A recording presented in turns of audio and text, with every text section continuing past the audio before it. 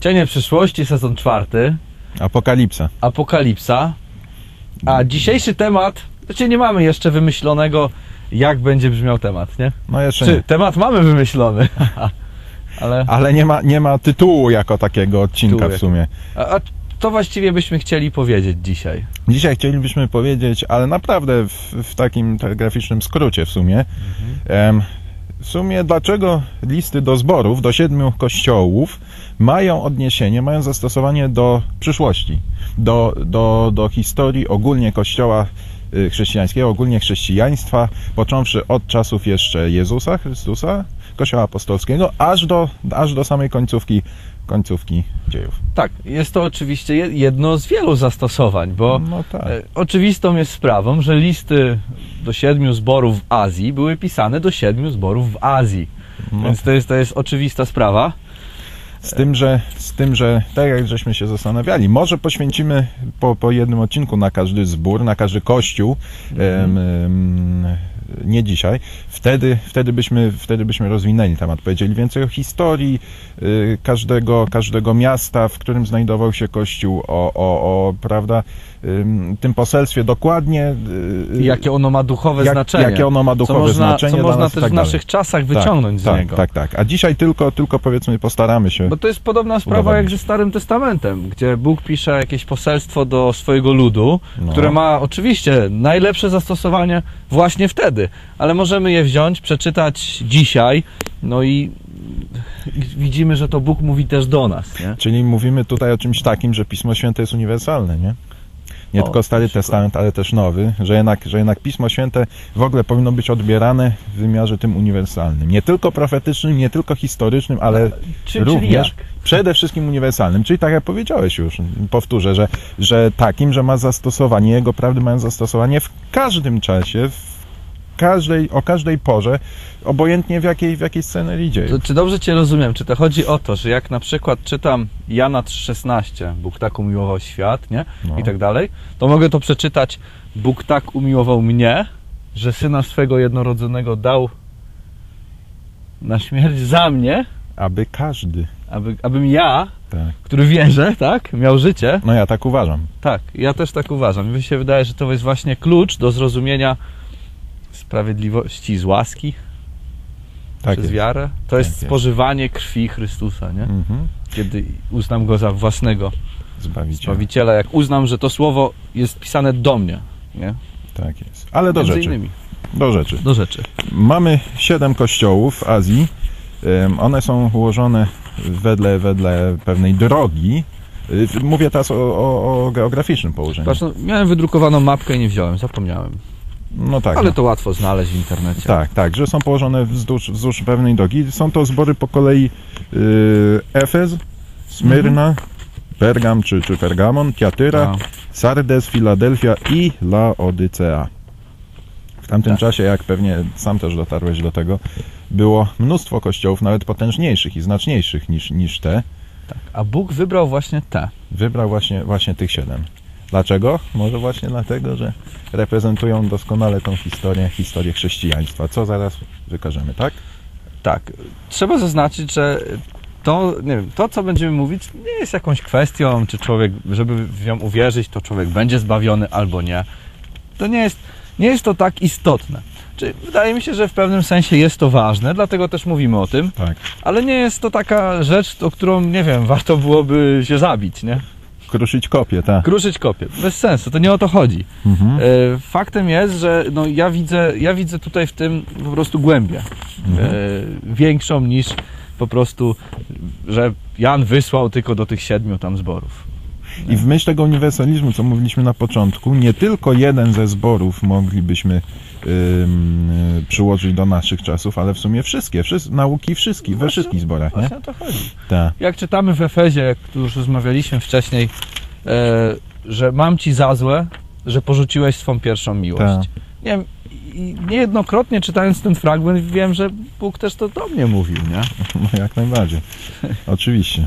Tak. Bądź wtedy gorliwy i się upamiętaj, nie? To jest poselstwo również dla nas. Tak jest. ym, pokrótce pierwszy rozdział mieliśmy omówić, nie? Tak, Tak, e, tak. w- Pierwszy rozdział, wydaje mi się, że dobrze byłoby pierwszy werset przeczytać. Objawienie. Jezusa Chrystusa, tak, objawienie Jezusa Chrystusa, które dał mu Bóg, aby ukazać sługom swoim to, co ma się stać wkrótce.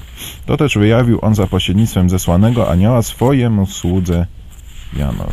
Czyli kiedy ma się stać? Wkrótce. Czyli to, co ma się stać wkrótce. Tu będzie mowa o tym, co ma się stać wkrótce. Dlatego, dlatego właśnie to jest jeden jakby z argumentów naszych za tym, że te listy mają symboliczne znaczenie. Chociaż dziewiętnasty wiersz mówi, chociaż to też może być na dowód, mówi Mhm. napisz więc co widziałeś i co jest i co się stanie potem, Mhm. prawda? Tak. Czyli, czyli, czyli apokalipsa jednak obejmuje Również y, teraźniejsze czasy. Ja teraźnie, przeszłość, teraźniejszość i, i, i, i, przyszłość. Tutaj w pierwszym rozdziale mamy wizję, tak zwaną wizję Chrystusa, kiedy, co jest ważne, Mhm. kiedy jest powiedziane, że, że on przechadza się pośród, y, znaczy Pośród jest pośród świeczników. tak. I to jest Tak. jedenasty wiersz, już jest, już jest prolog do, do, do listów do siedmiu zborów. To, co widzisz, zapisz w księdze i wyślij do siedmiu zborów, do Efezu i do Co Smyrny. zatrzymajmy się na tym, na tym wersecie. No, Czy tutaj napisał, y, tutaj Jezus każe Janowi napisać apokalipsę do siedmiu zborów, nie? no A tak. jednak apokalipsa jest skierowana do wszystkich zborów. I do naszych czasów, no, no również, bo opowiada o naszych czasach. Co ich obchodzi wtedy, że teraz my wyciągamy z niej w sumie prawdę na temat tego, kto jest, y, jaki jest Chrystus i jaki jest jego przeciwnik, nie? Mhm, mhm, Także tu jest napisane do siedmiu zborów, nie? tak. A jednak jest skierowana do wszystkich zborów. Czy siódemka może o, o, oznaczać symbolicznie pełnię, całość? Nawet nie tylko może, a oznacza. Oznacza. Doskonałość. Bożą Doskonałość. pełnię, Bożą doskonałość. Tak. Oczywiście one były wysłane do tych siedmiu zborów, ale w symbolicznym znaczeniu, jeżeli byśmy to przeczytali, Mhm. wyślij je do wszystkich zborów, we wszystkich czasach, nie? Dokładnie, dokładnie. I tu mamy te zbory wymienione i właśnie to jest ważne, żeby, żeby podkreślić w 12 wierszu, tak jak już mówiłeś. Ujrzałem siedem złotych świeczników i 13, a pośród tych świeczników kogoś podobnego do Syna Człowieczego, odzianego w szatę do stóp długą i przepasanego przez pięć złotym pasem. Głowa zaś jego i włosy były lśniące jak śnieżno-biała wełna, a oczy jego jak płomień ognisty, a nogi jego podobne do mosiądzu w piecu rozżarzonego, głos zaś jego jakby szum wielu wód. W prawej dłoni swojej trzymał siedem gwiazd, a z ust jego wychodził obosieczny ostry miecz, oblicze jego jaśniało jak słońce w pełnym swoim blasku. Czemu to czytam, zaraz powiem. To też, gdy go ujrzałem, padłem do nóg jego, jakby umarły. On zaś położył na mnie swoją prawicę i rzekł, nie lękaj się, jam jest pierwszy i ostatni i żyjący. Byłem umarły, lecz oto żyję na wieki wieków i mam klucze śmierci i piekła. Bo te wszystkie yy, przynajmniej część tych cech tutaj wymienionych jest potem w listach do zborów, jakby przypomniana. Jezus ponownie, ponownie mówi o sobie, że jestem ten, jestem ten, jestem, Tak, który był umarły, prawda, y, y, klucz Dawida i tak dalej, i tak dalej. No i w końcu jest jasno powiedziane, co do tajemnicy siedmiu gwiazd, które widziałeś w prawej dłoni mojej, siedmiu złotych świeczników. Siedem gwiazd to aniołowie siedmiu zborów, a siedem świeczników to po prostu siedem zborów, czy siedem kościołów. Y, Dlaczego Bóg wybrał akurat te kościoły? No, Przecież tam był jeszcze wokoło nie wiem, y, ko, ko, ko, y, zbór w Kolosach, y, jeszcze jakie tam zbory. No dużo było wokoło zborów, nie? Które również potrzebowały na pewno jakiejś rady. No tak jak w sumie na początku już, już powiedzieliśmy, no może dotknęliśmy, dlatego, że, że, że cechy tych wszystkich zborów, powiedzmy, y, mają inaczej, pokazują, pokazują ogólnie w, peł, w pełniejszym zakresie, w szerszym zakresie Mhm. historię chrześcijaństwa, no kościoła. I dlatego są te wybrane, żeby nie tylko do nich było poselstwo, ale też żeby ono przez y, y, y, mogło być odczytane. Jest to właśnie jedna z Później. teorii, nie? Tak. I e, co ciekawe, każda, każde z tych miast, nazwa każdego z tych miast ma pewne symboliczne znaczenie. Tak, właśnie, właśnie, właśnie, właśnie. To może omówimy te symboliczne znaczenia. Mhm. Więc tak, Zaczyna się od Efezu, od zboru efeskiego. Tak, nie chcemy też wchodzić jakoś głęboko w konkretne zbory i co tam Jezus mówi e, i, i co, co powinni robić, bo zajmiemy się tym później. tak. Teraz byśmy chcieli tylko tym problemem, dlaczego aplikujemy e, listy do siedmiu zborów do okresów czasu. Mhm. Dlaczego to jak, jako taki ma, ma sens, nie? Dlaczego można przyjąć taką interpretację? Tak. Więc co znaczy w ogóle samo słowo, y, sama nazwa zboru efeskiego? Efez. Pożądany. nie? Pożądany, tak jest. Pożądany. Dlaczego? Całe miasto leżało, to sobie spisałem z Mhm. opisu historycznego miasta, leżało e, w bardzo korzystnym położeniu geograficznym. Również ten okres historii Kościoła, to też trzeba e, zauważyć, że był to okres, w którym to żyli apostołowie. Tak, zakładamy, że Efes dotyczy się ym, Kościoła Apostolskiego tak zwanego. Tak, no Kiedy jeżeli już, to, to na pewno się tyczy tego pierwszego Apostołowie okresu, żyli, nie? tak. E, więc apostołowie mogli kierować osobiście Mhm. e, rozwojem Kościoła. Zauważmy tutaj, że w pierwszym wierszu jest powiedziane o, o Chrystusie, który się przechadza pośród siedmiu złotych świeczników. I w pierwszym rozdziale mamy to samo, nie? Pierwsza cecha jakby Chrystusa to jest, że, że Jan widzi siedem złotych świeczników, pośród tych świeczników kogoś podobnego do Syna Człowieczego. Więc tak jak mówiłem, jest analogia między pierwszym a drugim rozdziałem. A to jest, wiesz co, też te siedem świeczników. Dlaczego siedem świeczników? Czy to ma jakiś związek e, ze świątynią izraelską? No właśnie ma. Najprawdopodobniej właśnie ma. I jak czytamy w drugiej Mojżeszowej, 25 rozdziale, tam wersety od 31 do 40, Mhm. gdzie jest opis właśnie tego świecznika, możecie Mhm. sobie zerknąć, to y, właśnie jest to świecznik siedmioramienny, nie? Gdzie mamy światło właśnie y, siedmioramiennego świecznika. I mamy tutaj Jezusa, który przechadza się pomiędzy tym, tymi świecznikami, tym świecznikiem. I ma to znaczenie jakieś? Ma i to doniosłe. Tak. Ja tak się zastanawiałem. Co symbolizował ten świecznik, który był w tej świątyni izraelskiej? Mógł on Mhm. symbolizować na, pe- na pewno światło jakieś, nie? No tak. Ale jeżeli byśmy za, e, zastosowali to do zborów, Mhm. to czy ten świecznik świątyni izraelskiej tyczy się tylko tych siedmiu zborów? Czy raczej ten świecznik, który stał w świątyni izraelskiej, powinien się tyczyć wszystkich zborów?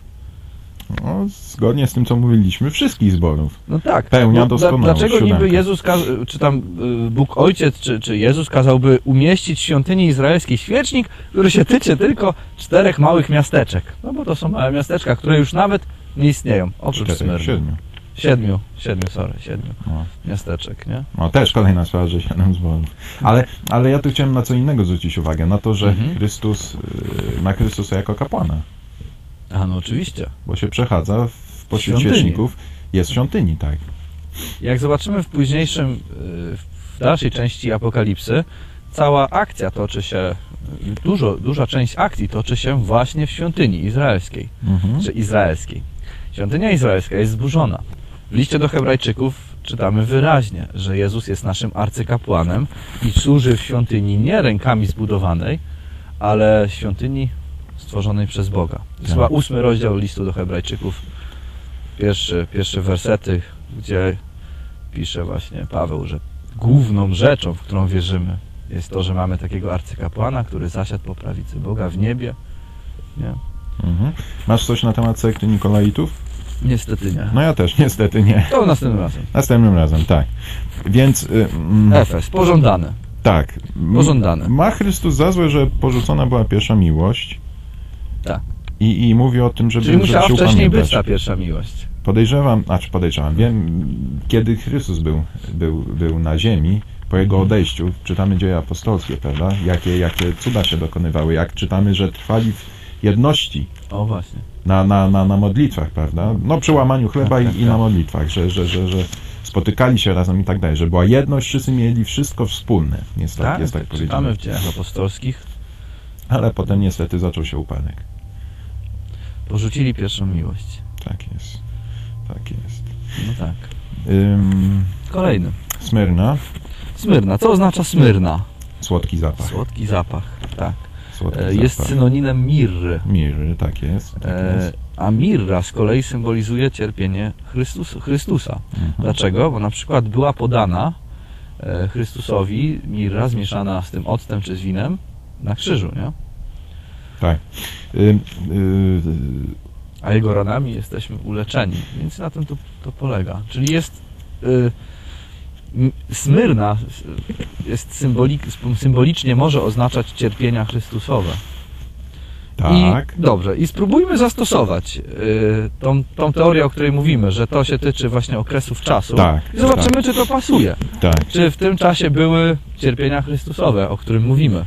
Przed 313 rokiem, przed edyktem Mhm. konstantynejskim, że tak powiem, Konstantyna Tak. Wielkiego, chrześcijaństwo no, było, było tępione, było, było okrutnie prześladowane. Jeżeli ktoś coś nieco liznął historii, to wie o tym, że, że Rzym, zanim, zanim przyjął chrześcijaństwo jako religię dominującą, jako swoją religię, to, to, to, to, to, to, to prawda, prześladował chrześcijan. No, wiadomo, Koloseum, Wtedy inne amfiteatry. Tak tak, tak, dalej. tak. Były, były świadkami, Tak. świadkami tego, jak, jak chrześcijanie byli rzucani na, na pożarcie, prawda, y, dzikim zwierzętom, kiedy byli po prostu, po prostu zabijani, byli torturowani. Czyli I, byśmy... A, sorry. I, bo odnośnie tego słodkiego zapachu, no nie mogę uciec od, od refleksji, że, że wiara, prawda, wtedy zaczyna dopiero być, być prawdziwą, jak jest przetawiona przez złoto, y, przez, przez ogień. Wtedy staje się jak, jak, jak to złoto, prawda? Tak, tak, tak. Kiedy, kiedy jest jakieś cierpienie, kiedy trzeba walczyć za tą wiarę, wtedy ona staje się, staje się pełniejszą, staje się, się Oczyszczoną. oczyszczoną, tak, nie? I Bóg oczyszcza swój kościół z żużlu, dokładnie. I widzimy. I widzimy tutaj, że, że, że Chrystus mówi: Znam ucisk twój i ubóstwo, lecz tyś bogaty. Ta wiara jest jak złoto, prawda? Że, że, że mimo ucisku, mimo ubóstwa, mimo cierpień, to i tak ta wiara jest, jest wielka. Jest, to bogaci są bogaci, tak. Duchowo, oczywiście. No, no tak, wiadomo. E, Ciekawe jest, że właśnie ten słodki zapach, ta smyrna, e, dzięki temu zapachowi mnóstwo ludzi się nawróciło, nie? Żeby się przenosi, no, dzięki, Przenosi. dzięki, dzięki, dzięki. Dzięki, no, no tak, no. Tak. No. Taka jest przykra rzeczywistość, taka przykra ta historia nasza. Chrystus mówi, nie lękaj się cierpień, które mają przyjść na cię. Oto diabeł wtrąci niektórych z was do więzienia, abyście byli poddani próbie i będziecie w udręce przez 10 dni. 10 dni, dzień za rok, 10 lat. 10 lat. Czy mamy jakiś okres w tym czasie? No, z źródła mówią, z których obaj korzystaliśmy, że to jest 303 do 313 roku, prawda? Zgadza się. Olbrzymie prześladowania, straszne prześladowania. Eskalacja spadły tego na, Na, na, na ludzi wiernych Bogu, nie? Tak, nasilenie niesamowite po to, żeby w 313 się skończyło wraz, Tak. wraz z edyktem. Tam była mowa o tym, że w 303 yy, mm, został wzniecony pożar w jednym z kościołów, prawda? I, i, i tak dalej, chrześcijańskich. I to był właśnie ten okres najcięższego, najcięższego Czyli podsumowując, mamy najpierw Efes, który znaczy pożądany, gdzie mamy okres no, czegoś, co można byłoby pożądać. Chrześcijanin powinien tego pożądać, nie? Tak mi się wydaje. Następnie mamy Smyrna, słodki e, zapach, nie? Mhm. gdzie jest e, Smyrna symbolem cierpień Chrystusowych. Mhm. I kolejnym, kolejnym etapem jest Pergam, który znaczy wyniosłość albo wywyższenie. Kończy się prześladowanie, niedziela zostaje ustanowiona Czyli dniem. Zaczyna się kompromis. Zaczyna się kompromis, zaczyna, zaczyna się, serca. Zaczyna się wygodne życie pewne. Wywyższenie może ludzi ponad Boga niektórych. Czytałem swego czasu opis y, biskupów pierwszych chrześcijańskich, którzy, którzy żyli właśnie mniej więcej w tym okresie. Przyzwyczajeni do prześladowań, do, do tego, że byli tępieni. Nagle to wszystko się kończy. Nagle, prawda, dostępują niesamowitej, niesamowitej czci, zostają, zostają wyniesieni, prawda? No i niestety pieniądze psują ludzi. I, Tak. i, i te, I kompromis idzie w ślad za tym. zaczyna, zaczyna być kompromis. Zauważmy Tak. też, że religia rzymska zaczyna wprowadzać, przyjmować, wcielać y, ym, elementy religii pod, podbijanych, podbijanych narodów pogańskich, prawda? Po to, żeby, żeby jakoś tam wszystkimi władzy, żyć dobrze. Tak. Pieniądze. I tak dalej, i tak dalej. No i zresztą tutaj dlaczego mówimy, y, że to chodzi w sumie o, o, o, o, o- ten Rzym, nie? Jest powiedziane, że wiem, gdzie mieszkasz, tam, gdzie jest tron szatana. Tak. A jednak trzymasz się mocno mego imienia, nie zaparłeś się wiary we mnie, nawet dniach, kiedy Antypas, świadek mój wierny, został zabity u was, gdzie szatan ma swoje mieszkanie. Ale mam ci nieco za złe, mianowicie, że są tam tacy, którzy trzymają się nauki Balama i tak dalej, tak, y, który nauczał Balaka, jak uwodzić synów izraelskich, by spożywali rzeczy pieniądze. ofiarowane i uprawiali nierząd.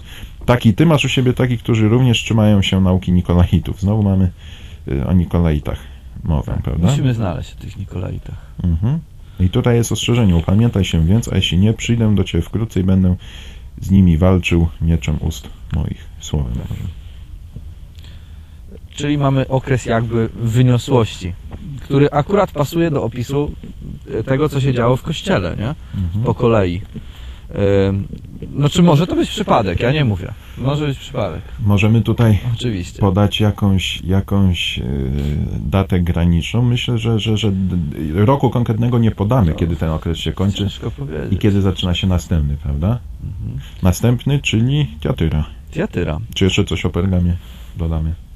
Ja myślę, że na tyle. Tiatyra jest to, jest to kolejny zbór, Słowo oznacza a słowo oznacza no, ofiara skruchy. ofiara skruchy. Ofiara skruchy. Y, Jeżeli byśmy tak chcieli zastosować dalej ten nasz, tą, tą, tą naszą teorię, Mhm. to by tak wypadało, że to są czasy średniowiecza. Dlaczego? Bo te czasy kompromisu zaczęły się przed rokiem, powiedzmy 500, około 530 tam 8 można by tak powiedzieć. No przed, przed, tak, tak. Przed. Czyli y, od roku 538 mamy supremację papieską i zaczyna się średniowiecze. I Mhm. tutaj Kościół przechodzi A co było w tym 538? supremacja, na- nadanie kodeksu justyniańskiego, supremacja papieża, papież staje się, Biskup Rzymu biskup staje się... Rzymu staje się papieżem staje i się głową papieżem. wszystkich Tak. świętych kościołów. Dokładnie. Od tego roku ma moc, aby prześladować wszystkich, którzy wierzą inaczej. Mhm. Może po prostu ich męczyć, zabijać, Mhm. robić co chce. Mhm. Żaden władca, e, król, cesarz nie jest w stanie mu tego zabronić. Nie ma większej władzy, tak? Nie ma większej władzy, tak. Mhm. On jest ten corrector of heretics, nie? Mhm. On decyduje, y, co jest dobre, zgodne z sumieniem, a co nie. Czyli zastępuje w tym momencie Chrystusa. Zastępuje ofiarę skruchy y, uczynkami. Tak. Ofiarami pieniężnymi, czy uczynkami y, po prostu y, cielesnymi jakimiś, w sensie biczowania, nie biczowania. Cały ten pogląd, czy sakramenty, sakramentami. Zwykłą ofiarę skruchy. To, czy Chrystus nam wybaczy, już nie jest kwestią tego, czy ja żałuję za mój grzech, ale ile jestem w stanie jakby dać od siebie. Nie? Ciekawy to jest wiersz 20. Lecz mam ci za złe, że pozwalasz niewieście Izabel, która się podaje za prorokinię i naucza i zwodzi moje sługi, uprawiać szeteczeństwo i spożywać rzeczy ofiarowane bałwanom. Czyli, czyli znowu, tak jak w poprzednim zborze, mamy to, że, że, że jest cały czas ten jakiś y, kompromis, nie? Czego jest symbolem niewiasta? Kościoła. Niewiasta wszeteczna, kościoła Ko- kościoła, ale właśnie, koś- niewiasta wszeteczna kościoła Kościoła odstępczego. odstępczego. Tak, tak, tak. tak. Ofiara bałwochwalcza, która była w tym kościele, czy możemy powiedzieć, że jest to ustanowienie mszy? W miejsce, w skomplikowanej mszy, owianej wielkimi tajemnicami, prosty, za- zastąpienie właśnie prostej wiary, nie? Prostej wia- wiary w człowieka. Mhm. Ciekawe, Ja tak to rozumiem. ciekawe i odważne, ale, ale podpiszę No, no. się pod tym, bo, bo, bo no jest to, jest to warte rozważenie. Wiemy, że przecież Chrystus wymaga od nas skruchy. To to fakt. Wymaga od nas zmiany życia, oczywiście, ale to tylko Jego mocą jesteśmy w stanie to osiągnąć, a nie wielokrotnymi uczestni uczestniczeniem w tej ofierze i jedząc tą, tą to coś, no ten chleb, tak? No. Tak. Mamy się żywić Jego osobą, a nie jakimś kawałkiem chleba, nie? Mhm, mhm, mhm.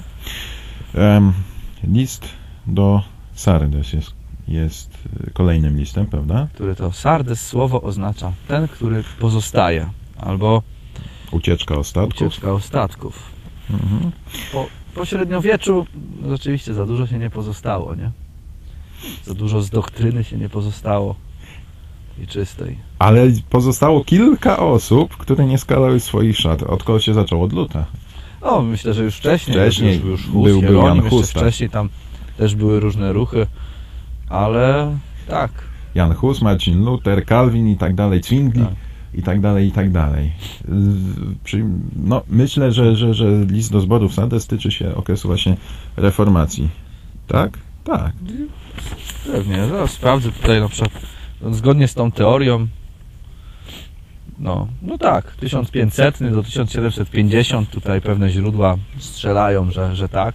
Mhm. Ja wiem, tak by pasowało nawet, nie? Masz, tak jak mówiłem, masz w Sardes kilka osób, które nie skalały swoich szat, więc chodzić będą ze mną w szatach białych, dlatego, że są, że są godni, prawda? A wiesz, wcześniej Pan mówi, pamiętaj więc, czego się nauczyłeś i co usłyszałeś i strzeż tego i upamiętaj się. Jeśli wtedy nie będziesz czujny, przyjdę jak złodziej, a nie dowiesz się, o której godzinie cię zaskoczę. Mamy zapowiedź przyjścia Chrystusa. Zauważyłeś? W, w, tym, w tym miejscu.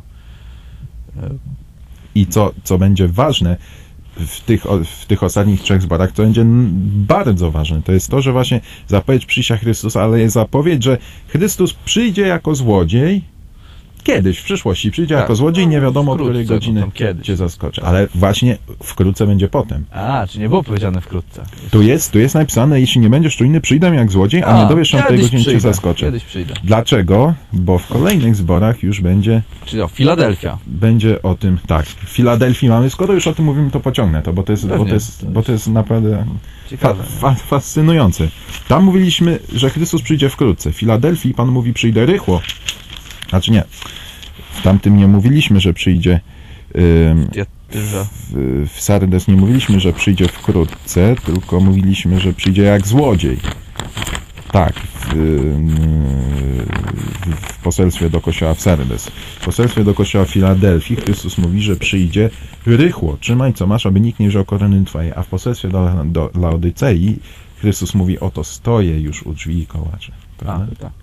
I To jest ciekawe. Dlaczego to jest ciekawe? Bo to jest kolejny dowód na to, że no, nie? Jest tu stopniowanie. Że jest- że jest to pewno- stopniowanie, Na pewno tak. ma, mamy trzy jakby określenia, kiedy Chrystus przyjdzie i akurat są one po kolei.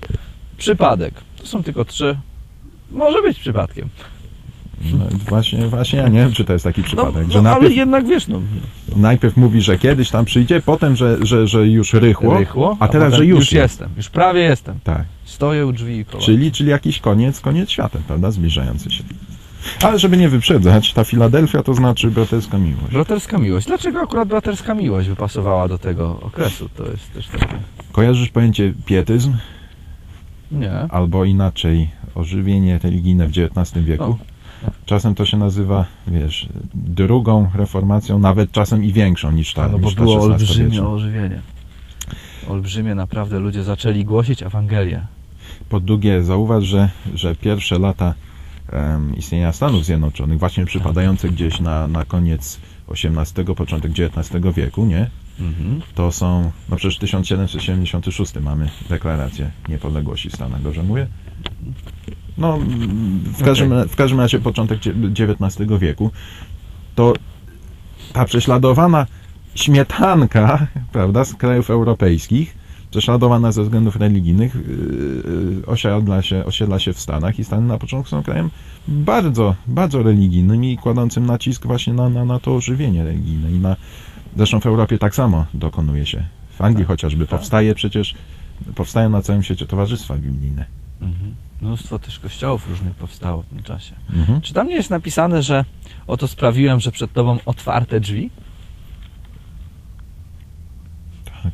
Jest, Naj, najpierw jest powiedziane, że święty ma klucz Dawida, który jeżeli Tak. otwiera, to nikt nie zamknie, a Właśnie. jeżeli zamknie, to nikt nie To otworzy. I jest potem, odniesienie do Izajasza I potem mówi właśnie, że sprawiłem, że przed tą otwarte drzwi. Do Izajasza? i oznacza, znaczy 22 rozdział, 22 werset. W każdym razie to, że Jezus ma klucz, oznacza, że on ma też prawo sądu. Czyli mamy pierwszą wzmiankę już o sądzie. Mhm. E, Mhm. Kolejną sprawą jest to, że on otworzył drzwi dla Ewangelii i dzięki temu mnóstwo ludzi, olbrzymi ruch, e, mnóstwo ludzi zaczęło właśnie głosić. Mhm. Co nami motywuje, kiedy chcemy głosić Ewangelię? Co, co, co przynajmniej powinno, nie? Braterska miłość. No tak. Tak. Miłość do Boga i miłość do ludzi, o których wiemy, że jeżeli pewnych rzeczy nie będą wiedzieć, jeżeli się nie nawrócą, nie przyjmą daru, łaski Boga, to, to zginą zwyczajnie. Tak. To, to jest podstawa w sumie Ewangelii, ta miłość braterska. Choć niewielką masz moc, jednak zachowałeś moje słowo, nie zaparłeś się mojego imienia. To jest ciekawe, że właśnie niewielka moc No niewielka moc. ludu Bożego, wiernego Bogu, ale jednak zachowują, zachowują słowo, słowo Boże. No i przechodzimy do Laodycei. I to jest ciekawe. Znaczenie, znaczenie słowa Laodycea jest po prostu moim zdaniem no, bardzo ciekawe. Oznacza osądzenie ludzi lub lud sądu. To jest zbitka dwóch słów. Laos i Dikeos. Laos to jest naród, właśnie lud. Mhm. Dikeos, sąd, tak? Czy No tak. uświęcenie. Bo też niektórzy tłumaczą jako lud usprawiedliwienia, lud usprawiedliwiony, Mhm. Lud y, sprawiedliwy. Y, studiowaliśmy, jak, jakiś czas temu y, robiłem taki odcinek na temat y, sądu. On się chyba po prostu sąd nazywa. Mhm. y, gdzie omawiam proroctwo o 2300 wieczorach i porankach. Warto zobaczyć, warto zobaczyć, bo robię, wydaje mi się, że dość szczegółowo omawiam, dlaczego mnie przekonuje ta interpretacja, y, jaką tam zaprezentowałem. I polega ona na tym, że w 1844 roku kończy się ten okres. I ja tam y, omawiam, dlaczego akurat w, ten, w tym roku. I moim zdaniem to jest to pewne, że ten rok na pewno kończy ten okres.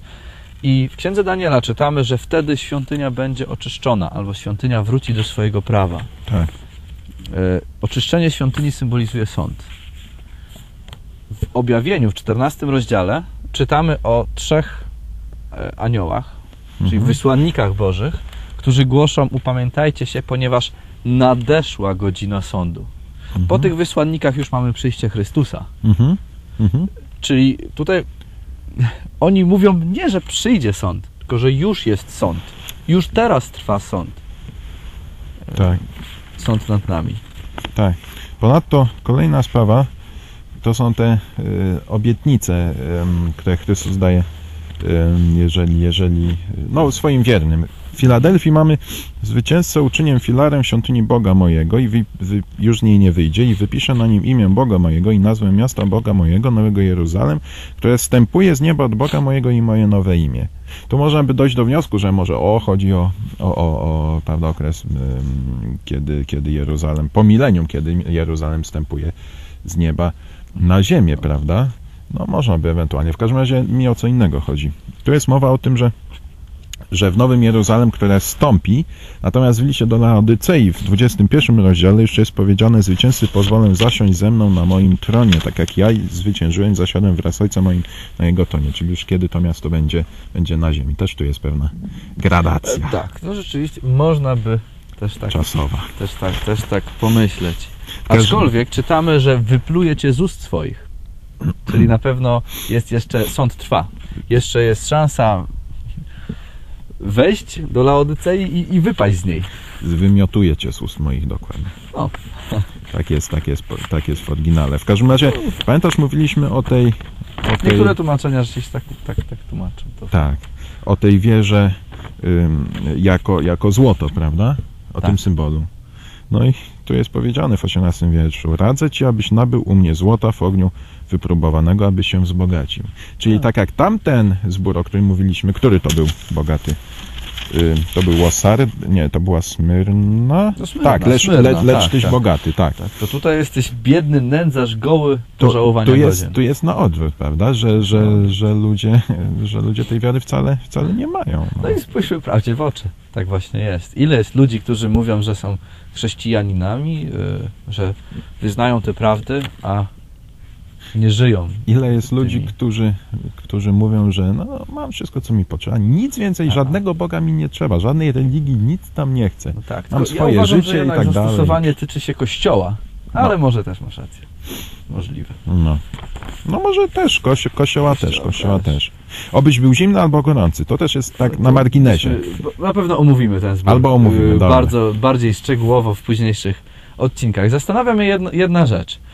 W tych wszystkich siedmiu zborach, może nie we wszystkich, w, wielu w listach do wielu zborów Jezus mówi, jeśli się nie upamiętasz, nie, No, to wezmę twój świecznik i dam go komuś innemu. Albo zabiorę ci tą, e, to, że ty jesteś moim kościołem, nie? Stracisz światło, jeśli Mhm. się nie upamiętasz. mhm, A w liście do kościoła w Laodycei mhm. nie ma czegoś takiego. No, Nie, nie ma czegoś takiego, że Bóg zabiera kościołowi laodycejskiemu świecznik i daje ją komuś innemu.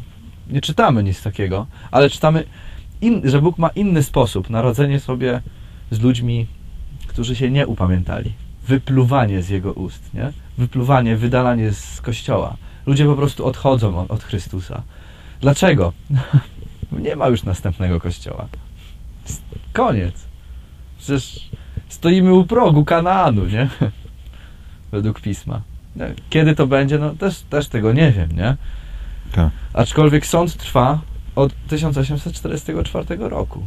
Tak jak już wielokrotnie mówiliśmy. Tak. W każdym razie, co jest wspólne dla wszystkich zborów, i to jest nasza rada dla Was. Kto ma uszy, niechaj słucha, co Duch mówi do zborów. No właśnie. Duch Święty działa. Jezus przechadza się między kościołami, między wyznawcami, zna serca każdego człowieka. I no i mówi, upamiętaj się, nie? Dokładnie. Coś jeszcze? Wszystko. W następnym odcinku będziemy omawiać. Nie? Tak. To były cienie przyszłości. Ja nazywam się Michał Pilch. Szymon Wygnański. Cześć. Cześć.